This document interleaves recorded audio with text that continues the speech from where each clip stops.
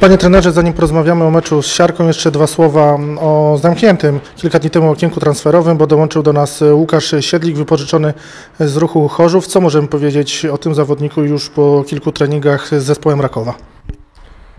No tak, Łukasz dołączył na ostatnią chwilę, choć e, jego osobą interesowaliśmy się od dawna, natomiast jego mm, sytuacja w ruchu była niewyjaśniona ze względu na e, ruchy personalne.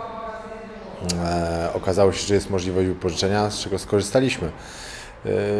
No, niebagatelne znaczenie ma tutaj fakt, że Łukasz jest młodzieżowcem i tutaj szukaliśmy na pewno konkurencji dla naszych chłopaków i on, on tą rywalizację Mm, mam nadzieję, że podejmie i, i będzie konkurencyjny, jeżeli chodzi o, o branie pod uwagę y, przy ustalaniu składu na kolejne mecze jeszcze. Teraz, teraz, teraz dopiero doszedł, tak, aklimatyzuje się, ale, ale myślę, że kwestia czasu mm, i wierzę, że będzie grał.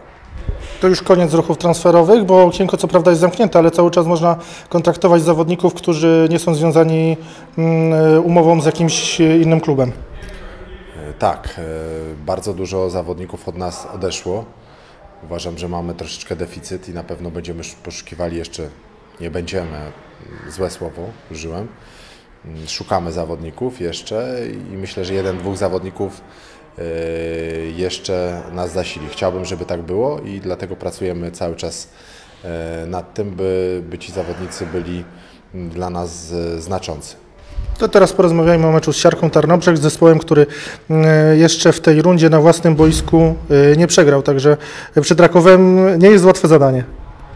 Tak, ja nazywam Siarkę drużyną własnego boiska, bo w, zeszłej, w zeszłym sezonie na 17 meczów 11 zwycięstw.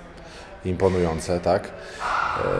Dlatego wydaje się, że może być to trudny mecz dla nas, aczkolwiek to się okaże na boisku, bo, bo, bo tutaj kwestie te Mm, statystyczne w tej chwili no, nie grają większej roli dla nas. My oczywiście jedziemy tam po zwycięstwo z takim nastawieniem.